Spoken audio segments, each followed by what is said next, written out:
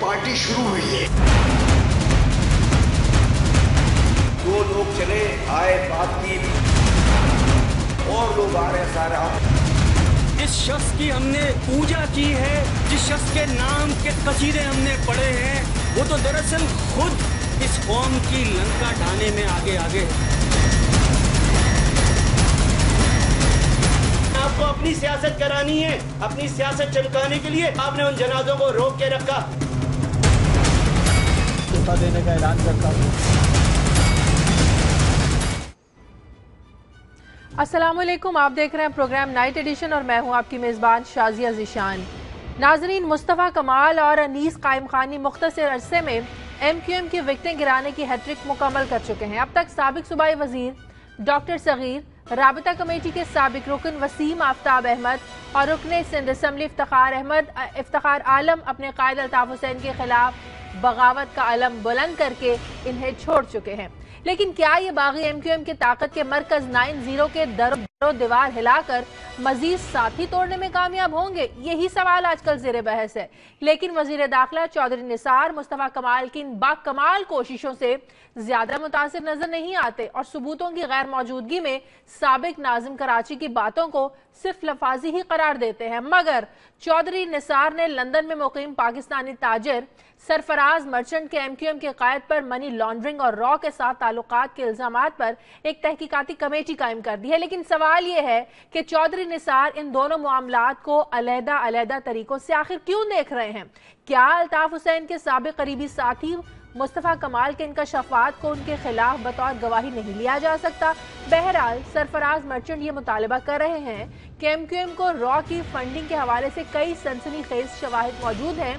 जिसके लिए एक जीआईटी भी कायम की जाए। लेकिन जिन किरदारों पर ये इल्ज़ाम लग रहे हैं, वो तो तमाम बरतानिया में मौजूद हैं, जिनके खिलाफ यकीनन कार्रवाई आसान साबित नहीं होगी। बहरहाल, एक बात तो तय है कि सारी सूरत हाल से एम क्यू एम परेशान है और एतजाज एहसन के बकौल मुस्तफ़ा कमाल ने उन्हें तो उनकी अम्मा याद दिला दी है। शायद इसीलिए एम क्यू एम ने जवाबी वार करने के लिए सफ़ाई मुहिम का कराची में आगाज़ कर दिया है, ताकि आवाम के साथ जो उनका रबता है इसको बहाल किया जा सके। अब ये सफ़ाई मुहिम एम क्यू एम के कितने काम आएगी, ये तो कहना कबल अज वक्त होगा। मगर क्या ये बेहतर नहीं कि एम क्यू एम पहले अपने घर की सफ़ाई करे, इसे ठीक करे, ताकि इसके अंदर जो बगावत का फलता, फूलता, पौधा है, ये एक तनावर दरख्त ना बन जाए। इस पर, इस सारी सूरत हाल पर आज हम बात करेंगे। लाहौर स्टूडियोज में मुझे सीनियर सहाफ़ी, सीनियर तजिया कार समी इब्राहिम साहब ने ज्वाइन किया, बहुत शुक्रिया समी साहब। कराची से ज़फ़र हिलाली साहब हमारे साथ होंगे और एम क्यू एम छोड़ कर मुस्तफ़ा कमाल का काफिला ज्वाइन करने वाले इफ्तार आलम साहब थोड़ी देर में हमें ज्वाइन करेंगे। मेरे तमाम मेहमानों का बहुत शुक्रिया। समी इब्राहिम साहब, कराची की सियासत में आने वाला तूफ़ान बढ़ता जा रहा है एम क्यू एम में बगावत बढ़ती जा रही है। ये आने वाला काफिला मजीद दिनों में आपको बड़ा होता हुआ, बढ़ता हुआ नज़र आएगा।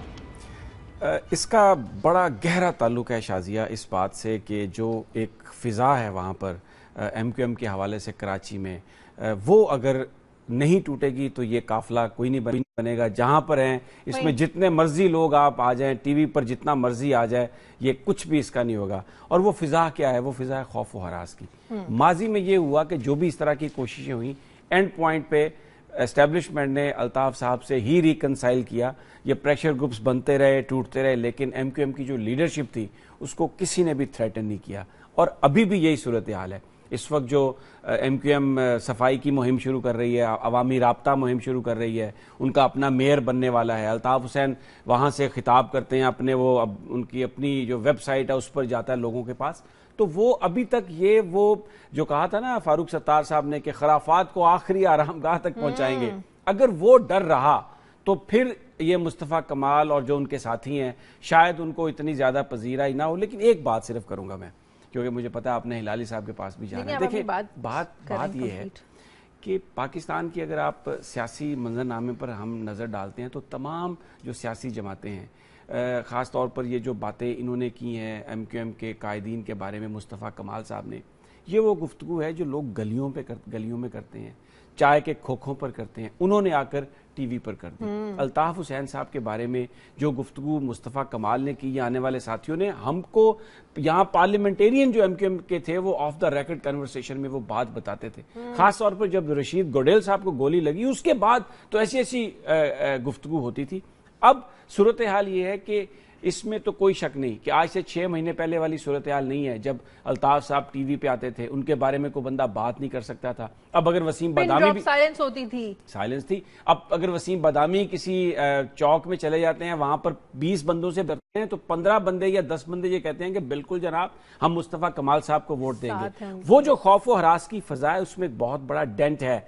लेकिन एक मेरी ऑब्जर्वेशन है कि अगर अनीस कायम खानी को बिहाइंड द सीन रख के वो काम करते मुस्तफ़ा कमाल साहब तो, तो उनकी वॉइस ज़्यादा सेन होती क्योंकि अनीस कायम खानी साहब के ऊपर बहुत बड़े इल्ज़ाम हैं। बल्दिया की जो फैक्ट्री है उसके भी इल्ज़ाम हैं। तो बहुत सारे लोग ये सवाल करते हैं। सामने आया ताकि बहुत सारे लोग ये बहुत सारे लोग ये कहते हैं कि एक बूढ़े डॉन की बजाय अब आप एक नौजवान डॉन लेके आ रहे हैं। तो अगर हकीकी चेंज की बात करनी है अगर एक रियल पॉलिटिकल प्रोसेस आपने लेके आना है तो फिर वो लोग वो कहते हैं इल्ज़ाम साबित तो हो। मुस्तफ़ा कमाल कहते हैं वो अगर इन्वॉल्व हो तो सबसे पहले मुझे फांसी दे दे। मुस्तफ़ा कमाल साहब को भी पता है सबको पता है। यही बात है जो एक सियासतदानों का जो एक रिलेशनशिप ऑफ़ ट्रस्ट है जो फिड्यूशरी रिलेशनशिप है वो नहीं है। जिस तरह मिसाल देता हूँ हम्म। शहबाज तासीर साहब रिकवर हुए पता नहीं क्या क्या प्रेस रिलीज़ आ गए। और जी पता नहीं कहाँ से ऑपरेशन हुआ कहाँ सबको पता है पैसे दे के उनको छुड़वाया है। ये कहने की हिम्मत नहीं है झूठ बोलते हैं। इसी तरह हमारे सियासतदान भी अगर सच बोलना शुरू कर दें तो शायद सूरत बड़ी जल्दी बेहतर सही इफ्तार आलम साहब, बहुत शुक्रिया, मैं ज्वाइन कर ली। सबसे पहले तो मैं आपसे ये पूछना चाहूँगी कि क्या विजन लेकर आप मुस्तफ़ा कमाल के काफिले को आपने ज्वाइन किया है? क्या आपके इरादे हैं मुस्तकबिल के? जी, आप सबको भी अस्सलाम वालेकुम। बिस्मिल्लाह रहीम वैसे तो सारी बातें मैंने तफसीली तौर पे जो है अपनी प्रेस कॉन्फ्रेंस में बताई थी कि विजन वो यही था कि एक बचपन से वैसे भी हम जब हमारे माँ बाप भी हमारी तरबियत करते थे तो पाकिस्तानियत के हवाले से होती थी। उसमें अगर एक नॉर्मल सवाल सा होता था कि बड़े होके क्या बनना है, कोई कहता था, जी, फौज में जाना है। कोई कहता था एयरफोर्स में जाना है। तो हमारे ये मुकदम जो इदारे थे, उनके हवाले से मतलब एक विजन था कि पाकिस्तानियत हम वहाँ पे साबित करते हैं और पाकिस्तानी है। हमें कभी भी किसी और चीज़ के हवाले से कोई बातें नहीं होती थी। Being as a political worker जब मुतहदा कौमी मूवमेंट को ज्वाइन किया, यहाँ पे शुरू में यही बातें हमें भी नज़रियाती तौर पे कि जी, पाकिस्तान की बात हो रही है, सारी चीज़ें। लेकिन वक्त के साथ साथ जब हम आगे यहाँ पे बढ़ते चले गए, इस तहरीक के अंदर, और अल्ताफ़ साहब की रहनुमाई के अंदर जब उनकी बातें सुनते थे हम तो शुरू में तो ये चीज़ें बड़ी अट्रैक्ट करती थी। लेकिन वक्त के साथ साथ ये साबित होता गया कि कॉल और फेल में बहुत ज़्यादा तजाद है। वहाँ पे जो उनकी पूरी पॉलिटिक्स है उसे भी उनकी ज़ात के गिर्द घूमती है।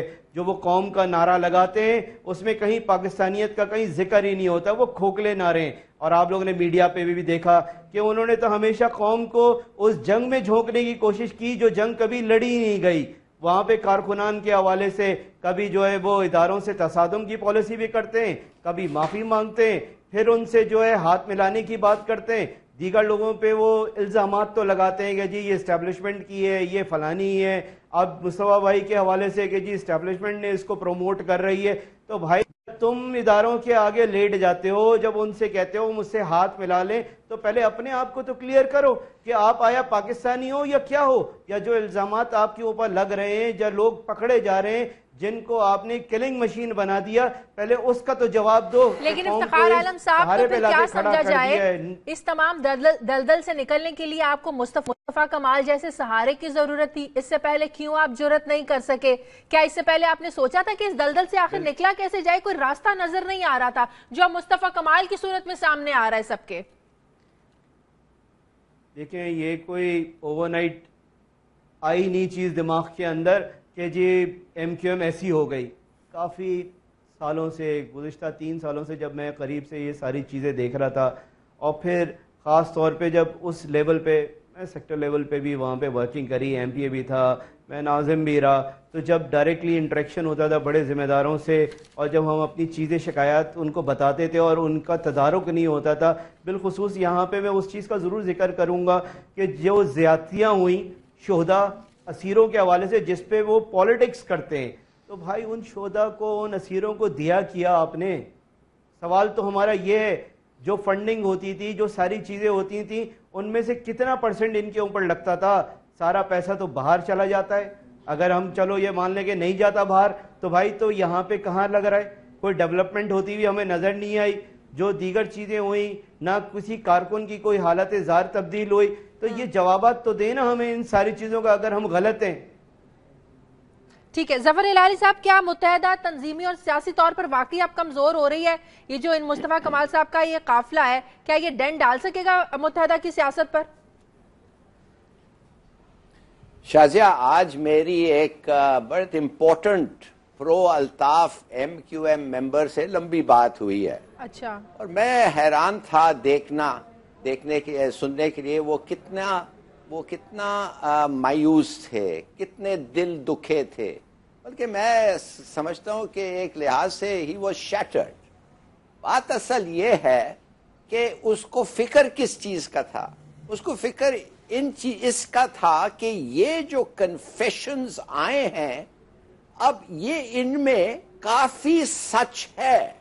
वो नहीं कह रहा था सब चीज़ सच है हम्म। मगर काफ़ी सच है। अंग्रेज़ी में कहते हैं they have about them the ring of truth और उसलिए वो बहुत परेशान था। अब मैं आपको बताऊँ वो कह रहे हैं वो कह रहा है। हमने अब इनका कहानी सुना है हमने सनी इब्राहिम न्यूट्रल साहब उनका कहानी सुना अब देखिए वो क्या कहते हैं। वो कहते हैं कि देखिए हमें आप सबूत दें। हम चाहते हैं सबूत इसलिए कि हम प्रो पाकिस्तानी हैं हम हम्म। सबूत चाहते हैं नंबर वन दूसरा वो कहते हैं कि ये जो साहब है कायम कानी साहब और मुस्तफ़ा कमाल साहब ये तो दो साल से गैब हैं। दो साल से इन्होंने किसी ने इनको देखा ही नहीं है पार्टी में। और सबको पता था कि इनका और अल्ताफ हुसैन साहब का मिलाप कुछ खास नहीं था। इंक्रीजिंग डिफरेंसेस थे। और सबको पता था कि शायद एक दिन वो निकले और ऐसी बातें करें। नंबर वन दूसरी वो कह रहे हैं कि ये साहब जो आपके साथ बैठे हुए हैं इफ्तार साहब और उनके साथी जो हैं उनका नाम मैं इस वक्त भूल गया। आ, ये दोनों जो हैं वसीम हाँ ये या यसीर ये इनको किसने सेलेक्ट किया? Number one as member of provincial assembly इनको राबता कमेटी ने सिलेक्ट किया। कौन सा राबता कमेटी? वो राबता कमेटी जिसमें कायम कानी साहब मेंबर थे। जिसमें मुस्तफ़ा कमाल साहब मेंबर थे तो ये तो एक लिहाज से उनके दोस्त थे। तो इनको आना उनके साथ मिलना और ये जो बात कहा है करना ये कोई you know it's not sensational ये भी एक लिहाज से प्रिडिक्टेबल था। अब वो कहने लगा वो खैर वो नहीं कहा मेरे उससे उसने कहा कि देखिए अल्ताफ हुसैन साहब ने तो इनको चैलेंज किया है। उन्होंने इनको किया है कि भाई अगर आप समझते हैं आप स्ट्रांग हैं आ जाइए नॉर्थ नाजिमाबाद हम सीट खाली कर रहे हैं। आए आप इलेक्शन लड़े। उन्होंने मुस्तफ़ा कमाल को इन सेंस चैलेंज किया है। कमाल साहब ने वो चैनल्स को एक्सेप्ट नहीं हम्म, किया है। अब नहीं उन्होंने कहा ये उनका साहब मुकाबला कर ले यहाँ पे आके। चलिए शायद आप सही कह रहे हैं। हम तो अच्छा, इस फेस पे जा, तो हम तो हम तो इस फेस पे जा ही नहीं रहे ना।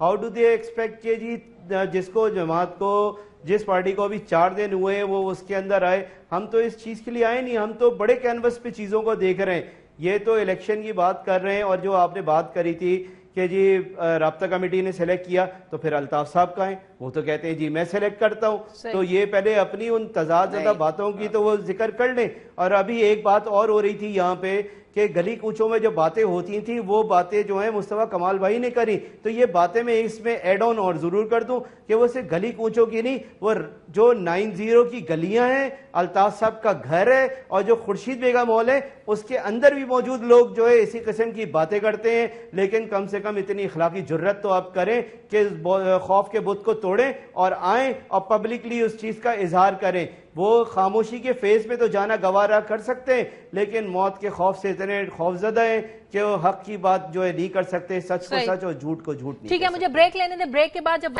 तो बात करेंगे कि मुतहदा के कायद पर लगने वाले इल्ज़ाम की क्या वाकई सबूतों के बगैर कोई अहमियत नहीं एक छोटे से वक्फे के बाद।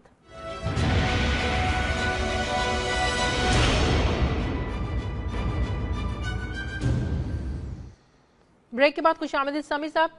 मुस्तफ़ा कमाल और इनकी कंपनी का आइंदा आने वाले ज़ाहिर ज़मनी इलेक्शन होंगे। वो उसमें हिस्सा ना लेने का बड़ा अक्लमंदाना फैसला लगता है? ये बहुत अच्छा फैसला है क्योंकि इस वक्त एम क्यू एम वही जो खौफ व हरास की फजा या जो उनकी डोमिनेंस है ना कराची में उसको मेनटेन करने के लिए वो इनको ट्रैप करना चाह रही है। हम्म। कि जी ठीक है आपने पार्टी बनाई है आ जाए आप फैसला कर लें ये बल्दियाती इलेक्शन है दूध का दूध पानी का पानी हो जाएगा हाँ। लेकिन देखिए जो मारूजी हालात हैं इस वक्त Peoples Party behind the scene MQM के साथ है। मुस्लिम लीग नून की लीडरशिप एमक्यूएम के साथ है। वो ये चाहते हैं कि एमक्यूएम की डोमिनेंस वहाँ पर मौजूद रहे। क्योंकि वो इसको ये समझते हैं कि अगर कराची में एमक्यूएम के खिलाफ अल्ताफ के खिलाफ कोई कार्रवाई हो गई कामयाब मुकम्मल हो गई तो उसके बाद अगला निशाना हम है। क्योंकि एक बातें आती रहती हैं जी minus one formula minus two formula और दूसरी बात ये आप जहन में रखें कि जो इलेक्शन है उसकी एक अलहदा साइंस है। इलेक्शन आप तंजीम से जीतते हैं। अगर आपकी प्रेजेंस नहीं है तंजीमी सतह की आपका वोटर जितना मर्ज़ी हो आप इलेक्शन नहीं जीत सकते। उसकी बड़ी मिसाल मैं देता हूँ इमरान खान पंजाब में इतने पॉपुलर इतने बड़े बड़े जलसे किए उन्होंने। लेकिन क्योंकि तंजीमी तौर पर वो पूरे उस गेम से उस सेंस से वाकिफ नहीं थे मुस्लिम लीग नून के जो शेर हैं वो आके इस तरह से धाड़े हैं इलेक्शन बड़े ज़बरदस्त तरीके आते हैं उन्हें इलेक्शन जीतने के। तरीके आते हैं। तो जो एमक्यूएम है वो ये चाहती है कि किसी तरीके से जो नए लोग हैं, ये साकिन हो जाए किसी तरीके से इसमें आके और फिर हम इन्हें इलेक्शन में हराएँ और उसके बाद बताएँ कि जनाब देखें, ना ये अवामी सतह पर जीत सकते हैं और फिर इस तरह वो जो खौफ व हरास है, वो जो एक सर्कमस्टांसेस उन्होंने क्रिएट किए हुए हैं, उसको वो कंटिन्यू कर सकेंगे। तो I think it's a very wise decision on their part के ठीक है जी, हम तंजीमी तौर पर जब इस काबिल हो जाएँगे कि आपका मुकाबला कर सकें तो हम आपका मुकाबला करेंगे। इससे पहले जो उन्होंने जलसे की बात की I think that is a very good step कि आप आफ्टर कपल ऑफ़ वीक आप एक जलसा करें। करने जा रहे हैं आप एक जलसा। करें जिसमें आप हज़ारों की तादाद में लोग ले आए और तो ये मुझे लगता है कि ये वो जो एक एमक्यूएम की जो मिथ है कि सिर्फ़ वही बड़ा जलसा कर सकते हैं। बाद में इमरान खान ने किया सिर्फ़ पीपल्स पार्टी करती है पूरे सिंध से बंदे ले आती है भर के और वो लियारी के अंदर जलसा करते हैं। लेकिन अगर ये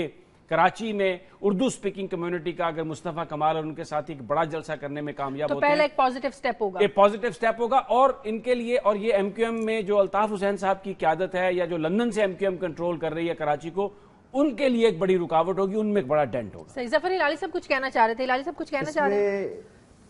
इसमें एक चीज़ हाँ, ये जो साहब ने थोड़ा सा मुझे इंटरप्ट किया था इफ्तिखार साहब आपका कंप्लेंट आपके लीडर का ये था आपके सबक लीडर सा था कि वो आप बात नहीं सुनते थे। तो आप भी मेहरबानी से थोड़ा सा मेरा बात भी सुने मुझे खत्म करने दे। कहने की बात सिर्फ़ ये है कि अब दो फैक्टर्स हैं। दो फैक्टर्स हैं एम क्यू एम मेंबरशिप में लॉयल्टी और fear these are the two factors that count fear खत्म हो गया है जी। अब रह गया है लॉयल्टी अब देखिए लॉयल्टी के लिए एमक्यूएम का जो मेंबर है ही मस्ट बी कन्विंस्ड कि अल्ताफ हुसैन साहब रॉ के साथ नहीं है। इसलिए कि ये जो लोग हैं ये पाकिस्तानी हैं। वो मैं तो कहता हूँ इन मेनी वेज मेरे से तगड़े पाकिस्तानी हैं। ये लोग जो हैं ये हम सब छोड़ के आए थे जो भी था हमारा मगर इन लोग जो आए थे मुझे पता है कि इनके बाप दादे क्या डिफिकल्टीज से आए हैं? तो ये बड़े तगड़े पाकिस्तानीज हैं। तो पूरा गवर्नमेंट का केस मेरे ख्याल में हैंग्स ऑन द फैक्ट क्या ये रॉ का कनेक्शन वाकई सच है? मेरे ख्याल में अगर वाकई सच है और ये प्रूव किया तो इनको ज़्यादा काम नहीं करना पड़ेगा। इनको ज़्यादा लोगों को बुलाने की कोई ज़रूरत नहीं होगी मुस्तफ़ा कमाल और इफ्तार साहब को। वो खुद आएँगे इसलिए कि वो नहीं चाहेंगे कि एक आदमी मगर इसका मतलब यह है कि उन लोगों को आप पकड़ें उन लोगों को डिस्कालीफाई करें मुहाजिर कम्युनिटी को ना करें इस पार्टी को ना बैन करें। उनको पकड़ें जिन्होंने रॉ के साथ गलत तरीके से रिलेशनशिप चलिए आप इफ्तिखार साहब की भी सुन लें। इफ्तिखार मैं एक सुन लें जरा वो भी कुछ कहना चाह रहे थे। जी। इफ्तिखार साहब। जी।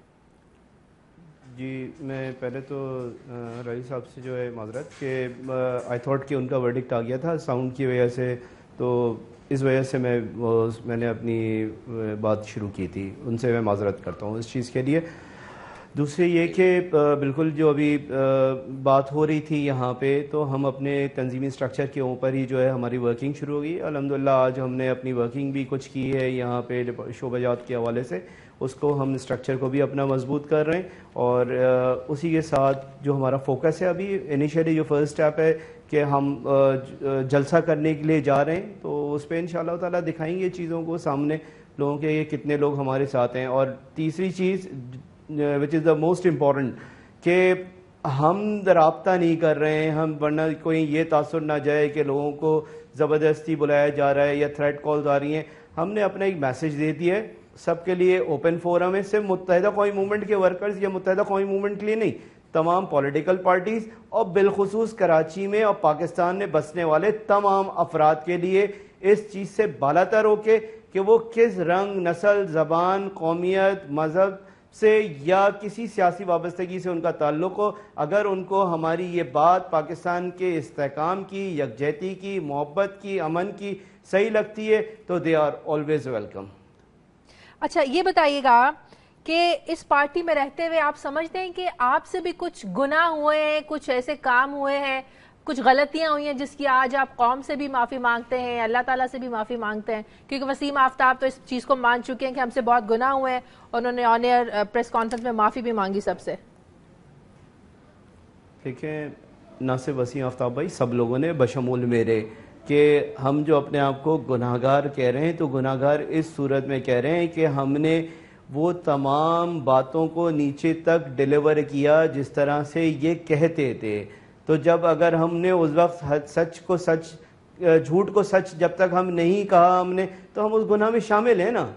हमसे ये हुई है गलती, हम अपनी कौम से, अपने वोटर से इस चीज़ के माफ़ी हमने मांगी कि हाँ हमसे गलत हुआ। मैंने अपनी प्रेस कॉन्फ्रेंस में भी एक बात छोटी सी कोर्ट की थी जिसमें मैंने ये बात बताई थी कि यहाँ आने से पहले उसी दिन रात को लियाताबाद जो मेरी कॉन्स्टिट्यूंसी में भी आता है एक हिस्सा लियाताबाद का, मैं वहाँ पे गया, वहाँ पे जाके फिर वही सारी बातें कि अल्ताफ़ साहब की मोहब्बत की, ये सारी चीज़ें करनी थी और जो मैसेज था कि इनके लिए नेगेटिव करना है डोर टू डोर जाके करना है तो मुझे वो चीज़ बड़ी हर्ट हुई। मैंने वहाँ पे जाके एक तो लोगों से खुद, आप अगर चाहें तो ये बिल्कुल मैं कह रहा हूँ, आप जाके मालूम कर सकते हैं, मैंने उनसे माफ़ी मांगी कि हम डिलीवर नहीं कर सके। हमने नहीं डिलीवर किया। हम बस लोगों को इसी चीज़ में उलझा के रखा। तो हम वो जो डर और खौफ उनका साथ देने के गुनाहगार हैं हम। जो डर और खौफ एमक्यूएम छोड़ने से पहले आपको अल्ताफ हुसैन साहब का था वो एकदम अचानक कैसे खत्म हो गया कि पार्टी छोड़ देंगे? जिस तरह के वसीम आफ्ताब मुस्तफ़ा कमाल भी कह रहे हैं कि हम जानते हैं कि फारूक सत्तार साहब की क्या मजबूरियाँ जिसकी वजह से एमक्यूएम नहीं छोड़ सकते। तो आपका वो डर और वो खौफ चाहे वो मुतहदा का था मुतहदा के कायर का था लंदन की जो पार्टी थी उसका था वो कैसे अचानक खत्म हुआ? नहीं देखिए, डर, खौफ के साथ साथ बहुत सारी चीज़ें ये भी थी कि एक बर्दाश्त का पैमाना था। मेरे लिए बहुत आसान था। या तो मैं खामोशी की ज़िंदगी में चला जाता तो कोई पार्टी मुझे ना कुछ कहती, जो आज ये गद्दार गद्दार कह रहे हैं तो जब इनकलाब आता है तो लोग उनको इनकलाबी तो बाद में कहते हैं सक्सेसफुल उससे पहले गद्दारी बोल रहे होते हैं। तो ये तो वक्त साबित करेगा कि ये जो इनकलाब हमने बर्पा किया है, हम इनकलाबी हैं या गद्दार हैं। और रह गई इस बात की तो ये सोच मेरी थी बिल्कुल थी। बहुत डिप्रेशन का शिकार सारी चीज़ों का ला काफ़ी दफ़ा इन चीज़ों का इजहार भी किया इनका तदारुक नहीं हो रहा था। तो मैंने ये बताया कि मतलब खामोशी के फेस में चला जाता। वाह वाह होती हाँ ठीक है सही है। या फिर एज अ पॉलिटिकल वर्कर के मैं कि नहीं आवाम में रहना है सारी चीज़ें और कौम के साथ ये सब कुछ हो रहा है। और जब मुस्तफ़ा भाई का ये फेस आया तो लगा मुझे कि हाँ अब इस वक्त जो है मैं अपनी इन पॉलिटिकल एक्टिविटीज़ को जारी रख सकता हूँ और इस जो गलत हमने देखा है कौम को बचाने के लिए कहें कि हाँ ये चीज़ गलत है और ये शख्स गलत है इसने गलत किया अपने मफादात के लिए तहरीक को कौम को यूज़ किया लेकिन डिलीवर कुछ नहीं किया। और इसका मतलब ये है कि एमक्यूएम का जो नारा था कि जो कायद का गद्दार है मौत का हकदार है ये नारा भी अब दम तोड़ता हुआ नज़र आप देख लेने वापस आते हैं छोटे से वक्फे के बाद हमारे साथ रहे।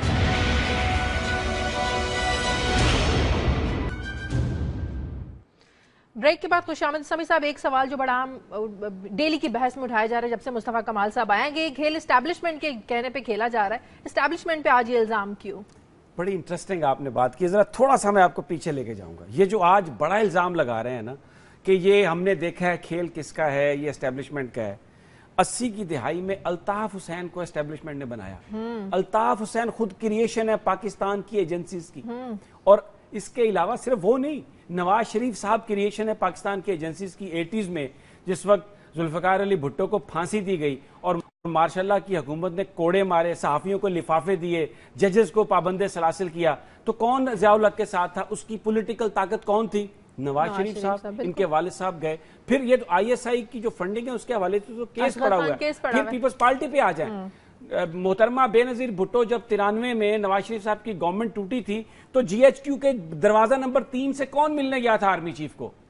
ये अभी जो वापस आई बेनजीर साहब और नवाज़ शरीफ साहब एनआरओ मुशर्रफ के साथ किसने किया था? और खुद जो एमक्यूएम की क्यादत है जब मुशर्रफ पाकिस्तान के सदर थे आर्मी चीफ भी थे किसने दूध पिलाया उनको सारे का सारा? वो पाकिस्तान की आर्मी के पीछे एजेंसीज आ गई हैं तो ये शायद कोई पाकिस्तान के खिलाफ बात हो रही है।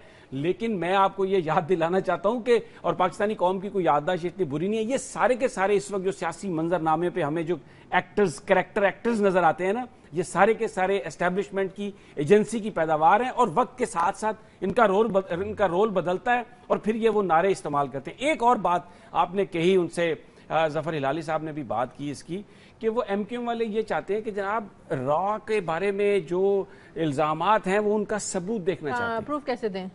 अब देखें मेरी आप बात सुने। रॉ के रॉ से फंडिंग लेना पाकिस्तान में इस वक्त सियासी अशराफा, अशराफिया के लिए जुर्म नहीं, एक ऑनर है।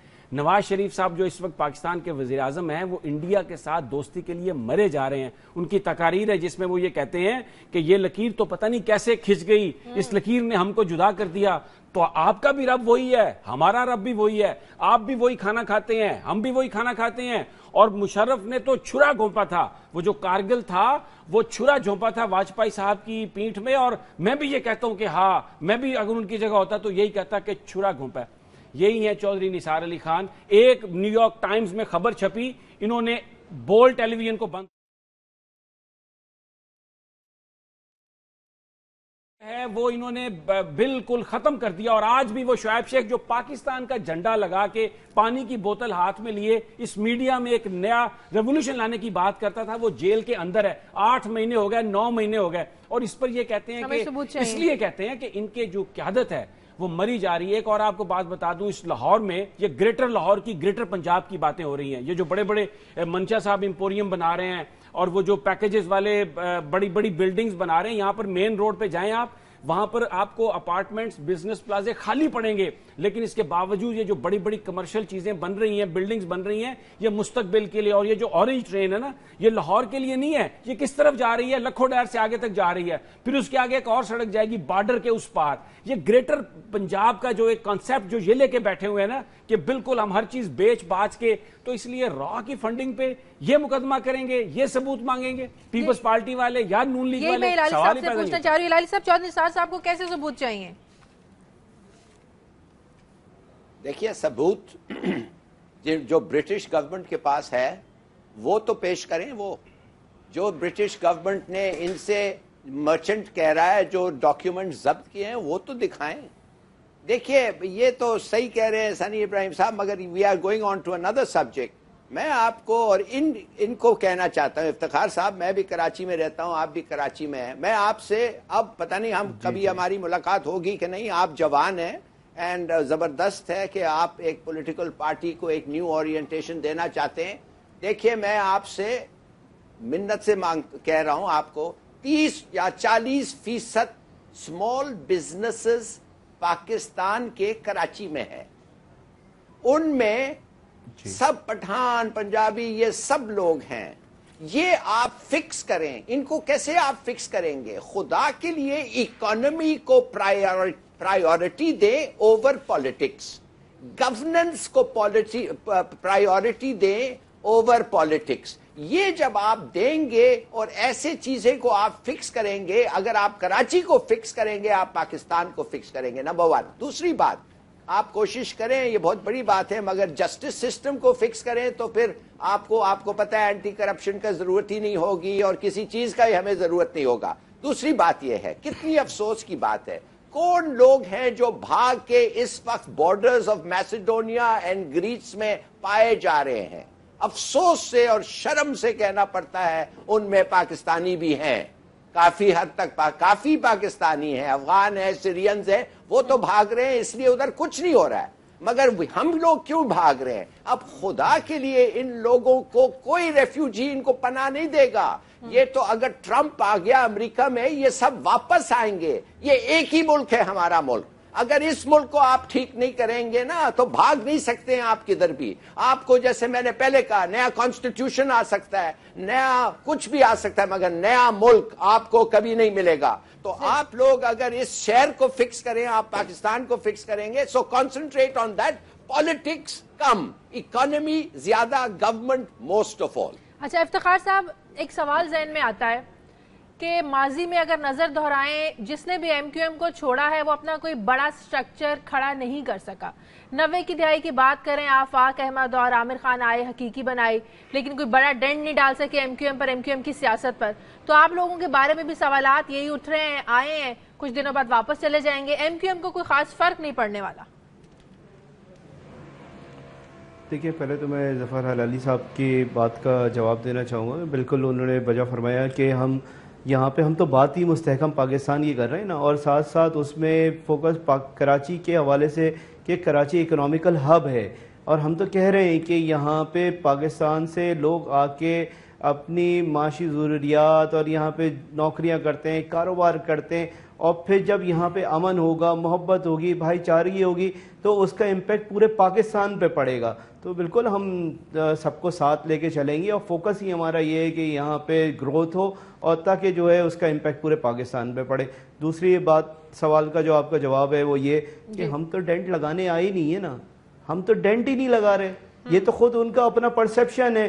हमने तो आके अपना एक विजन दिया और सबके लिए ओपन हार्टेड अपने सबको कहा कि जो अगर हमारी इस बात को सही समझता है, दे आर वेलकम, नहीं सही समझते तो ठीक है, हम तो नहीं कहीं पे जाके कब्जा कर रहे हैं उनकी ऑफ़िस के ऊपर, उनकी सेक्टर्स के ऊपर, या उनके, हमारी बिहाफ के ऊपर, उनके पॉलिटिकल वर्कर्स को की गिरफ्तारियाँ हो रही हैं। हम तो बल्कि उल्टा एड्रेस कर रहे हैं कि भाई जुल्म हो रहा है, और उनको कह रहे हैं कि भाई तमाम कारकुनान किसी डर खौफ में मुबतला नहीं हो, अपने घरों पर रहना चाहते हैं, रहें जिस तरह नॉर्मल ज़िंदगी गुजार रहे हैं, भाई, रहें, बिला वजह का जो खौफ उनके दिलों के अंदर बैठाया जा रहा है, उनकी अपनी जमात की जानब से उसको ख़त्म करें और अपनी नॉर्मल ज़िंदगी की तरफ़ आएँ। और अगर समझते हैं कि हमारी बात की सही है तो भाई हमारे पास आ जाएँ, कहीं और जाना चाहते हैं, वहाँ चले जाएँ। लेकिन इस तरह की ज़िंदगी से तो कम से कम छुटकारा हासिल करें कि जहाँ सिर्फ़ खौफ में मुबतला रखा जाता है। हम नहीं उनको डेंट लगा रहे हैं, हम तो कोई बात ही नहीं कर रहे हैं उनसे किसी चीज़ की। ठीक है, मुझे ब्रेक लेने दें। ब्रेक के बाद वापस आएँगे तो बात करेंगे कि आखिर इस सारे इशू पर बात करने से गुरेजा क्यों? हिचकिचा क्यों रही है एम क्यू एम एक छोटे से वक्फे के बाद।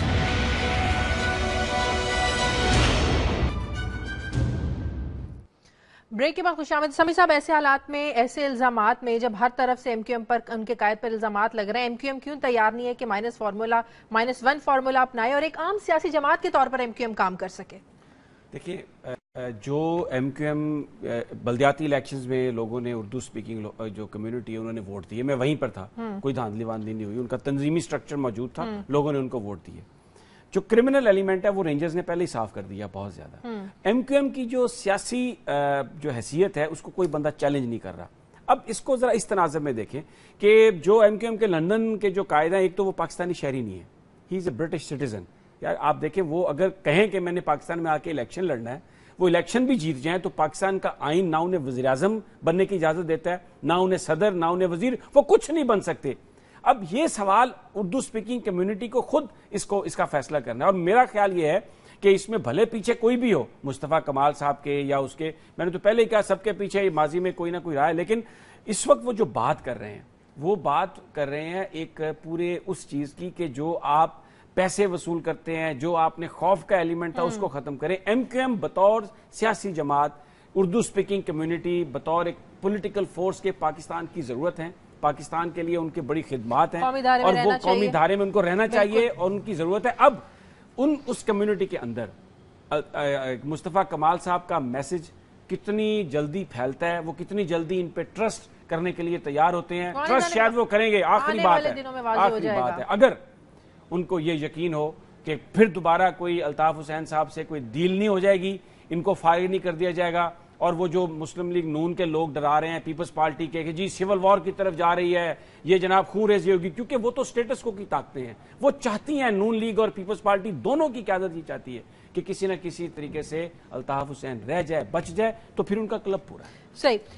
जफरी लाल साहब मुतहदा की जो साफ़ कराची मुहिम है, जो कराची को एकदम एक अरसे के बाद, सालों के बाद इन्हें याद आ गया, कराची को साफ़ करना इसका क्रेडिट भी मुस्तफ़ा कमाल साहब इनकी कंपनी को, इनके काफिले को दिया जाए।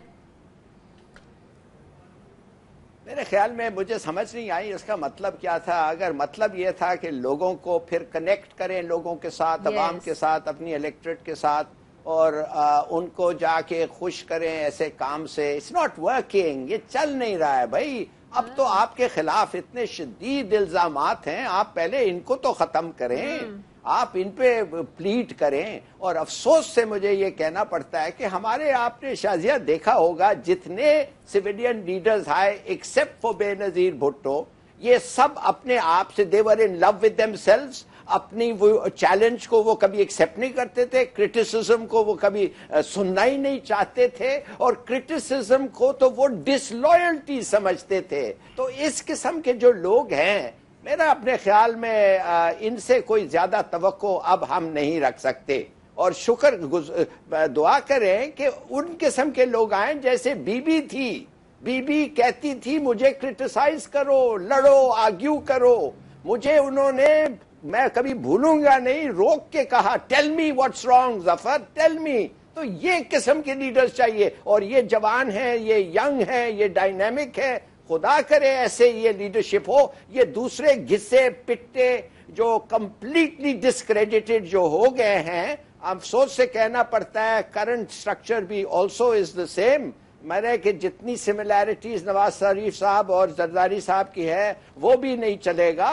अब शायद अगला जनरेशन उनका तो खैर डायनास्टिक है बाप बेटी से जाता है और बाप बेटे से जाता है मगर कम से कम इन लोग रफली डेमोक्रेटिक हैं। इनशाला अगर ये ठीक से इलेक्शन करें लोगों की बात सुने क्रिटिसिज्म को इनवाइट करें। बिल्कुल। तो फिर जाके आप देखें लेकिन मुतहदा इस सारी सिचुएशन को अवॉइड क्यों कर रही है? नहीं तो कुछ नहीं फ़र्क मुतहदा इस सारी सिचुएशन को अवॉइड क्यों कर रही है? मुतहदा के किसी रहनुमा को किसी टॉक शो में बुलाने के लिए कहा जाता है कि आके हमसे इस इशू पे बात करें वो साफ़ इनकार कर देते कहते हैं ये हमारी पॉलिसी है कि हमने मुस्तफ़ा कमाल और इनका जो भी सियासत चल रही है, हमने इस पर आके बात नहीं करनी है अब पहले आप देखें, कोई भी एम क्यू एम पर इल्ज़ाम लगाता था, प्रेस कॉन्फ्रेंस होती थी, जवाबी वार होते थे जवाब दिया जाता था बाकायदा एक पॉलिसी के तहत मुतहदा की तरफ़ से। अब ये सारी सिचुएशन को मुतहदा इग्नोर क्यों कर रही है? बस इनके पास गट्स नहीं है, इनके पास लीडरशिप नहीं है, ये खराब हो गए हैं। इन लोग एक डिक्टेटर को और एक आदमी जो समझता है कि मेरे वैसे और कोई नहीं है, जब आदमी सिर्फ़ ऑर्डर्स पे चलता है, जब उनके इनिशिएटिव का वक्त आता है, वो इनिशिएटिव नहीं ले सकते। फिर इसलिए मैं कह रहा हूँ, इंशाल्लाह देखें क्या होता है इन फ्यूचर सर, इफ्तार साहब, हम आने वाले दिनों में मजीद एक्सपेक्ट करें कि मुतहदा के अंदर और भी आप जैसे लोग मौजूद हैं, जिनका जमीर जागने वाला है, जो कोशिश कर रहे हैं, अपने दाएँ बाएँ देख रहे हैं, रास्ता तलाश करने की कोशिश कर रहे हैं कि हम भी इससे कैसे निकले। एक्सपेक्ट किया जाए कि कुछ आप जैसे लोग और मौजूद हैं जो जान छुड़ाना चाहते हैं इस सारी हालात जो उनके उनके साथ चल रहे हैं। देखें, ये तो एक स्लोगन सा बन गया है ज़मीर का, लेकिन उसके साथ साथ ये कि खौफ की फ़िज़ा से बाहर निकले, हमने यही कहा है उनको, और एक लंबी फहरिस्त है लोगों की। प्रेस कॉन्फ्रेंस के लिए आप लोगों को जहमत देते रहेंगे, अपने प्रिंट मीडिया को, अपने सहाफ़ी हजरात को। और अच्छा है कि वो लोग आएँ और हमें स्ट्रेंथन होंगे हम लोग यहाँ पे और एक बेटर कॉज के लिए जो है वो वर्किंग करेंगे। और अनकरीब आप देखेंगे इसको भी।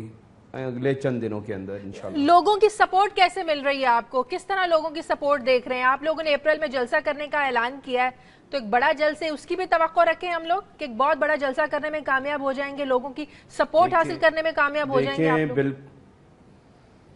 देखिए जब कह रहे हैं कि जलसा करेंगे तो दो चार हज़ार अफराद से तो जलसा होता नहीं है। हमारा प्रिंट मीडिया इतना शूर रखता है इतना फास्ट है कि वो खुद देखेगा कि कितने लोग हैं और लेट द टाइम डिसाइड के लोग देखेंगे कि कितने लोग हैं हमारे पास। और दूसरे ये कि जब हम कह रहे हैं कि लोग हमसे रबता कर रहे हैं तो कोई हम सियासी बयान नहीं दे रहे।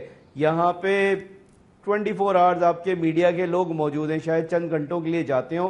कैमरेज यहाँ पे लगे हुए हैं उनके, और वो देख रहे होते हैं कि सुबह से लेके रात तक यहाँ पे लोगों का रश रहता है और लोग आ रहे हैं और अपनी हमदर्दियाँ भी और अपनी कमिटमेंट भी ज़ाहिर कर रहे हैं और कह रहे हैं कि ये एक बेटर कॉज के लिए हम लोग और ये भी सच है कि आप लोग अपने घरों को नहीं जा रहे हैं।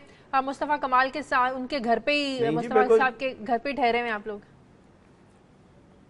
नहीं देखिए सहीर भाई भी अपने घर पे जा रहे हैं वसीम भाई भी गए हाँ। मैं कल से नहीं गया था इसलिए कि कल मैं आया था यहाँ पे फिर टॉक शोज़ और ये सारी चीज़ें थी। इनशाला मैं भी कल परसों जाऊँगा अपने नॉर्मल है कोई घर पे जाएँ देखें आप लोग कोई हमारी सिक्योरिटी नहीं है नॉर्मल फैमिली है बच्चे स्कूल जा रहे हैं हर चीज़ सही है।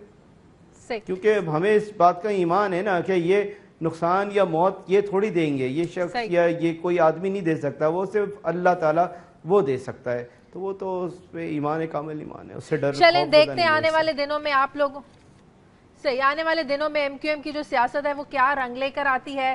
क्या मजीद चेंजिंग्स आती हैं? और कौन से मजीद लोग आपके काफिले में शामिल होते हैं? आखिरी सवाल सम इब्राहिम साहब पीपल्स पार्टी को इस सारी सिचुएशन में सिंध में कोई खतरा तो नहीं है? पीपल्स पार्टी जब तक इकतदार में है उन्हें कोई खतरा नहीं। जरदारी साहब कल्टीवेट होने के लिए तैयार हैं मुख्तलिफ़ मैसेजेस दे रहे हैं लेकिन मुझे लगता नहीं कि एस्टेब्लिशमेंट को उनकी कोई ज़रूरत है। ठीक है बहुत शुक्रिया। समीर आपका इफ्तार, आलम साहब, बहुत शुक्रिया।